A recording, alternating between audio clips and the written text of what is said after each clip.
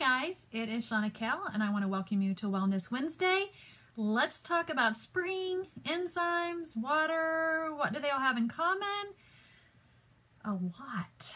So, I don't know about you guys, but sometimes when spring comes along, I start hearing people complaining about things like, oh my, um, my eyes are watering, my nose is running, all those things that aren't necessarily the fun part of spring, right? I want to enjoy spring. I want to enjoy the trees. I want to enjoy the flowers blossoming. So, what can we do? Well, don't you love it when it rains and it just cleans the air?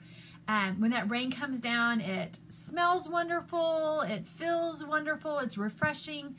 Water does the same for us. So here I've got my water right here. I've got my rubber bands and my little happy Care Bear so, when we drink water, that helps flush things out of our body. It keeps us nice and clean. So, we want to make sure we're drinking enough water.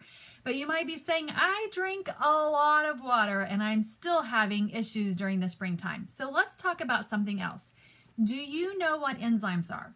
Because if you don't know what enzymes are, you might want to know a little bit more this spring to have the most wonderful spring ever. All right. So, let me tell you, enzymes are important because they give springtime support, they love on your gut, and they help getting toxins out of your body. Now, you might say, what does toxins have to do with it? I'm talking about what's in the air outside. Well, when our body is overflowing with toxins, it has a hard time taking care of those things that are outside, just being honest with you. So, what happens? Let's just talk about what happens, okay?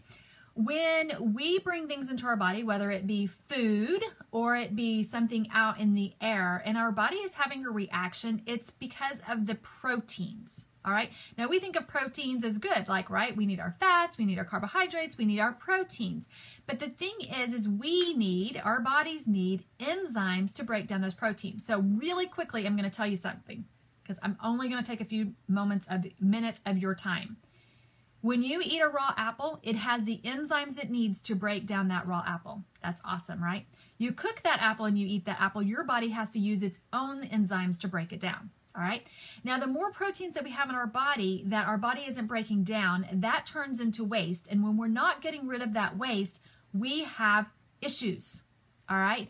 So, what do enzymes do? They help with breaking down food. They help with breaking down things that come into our body um, so that we can absorb it and get the nutrients from it.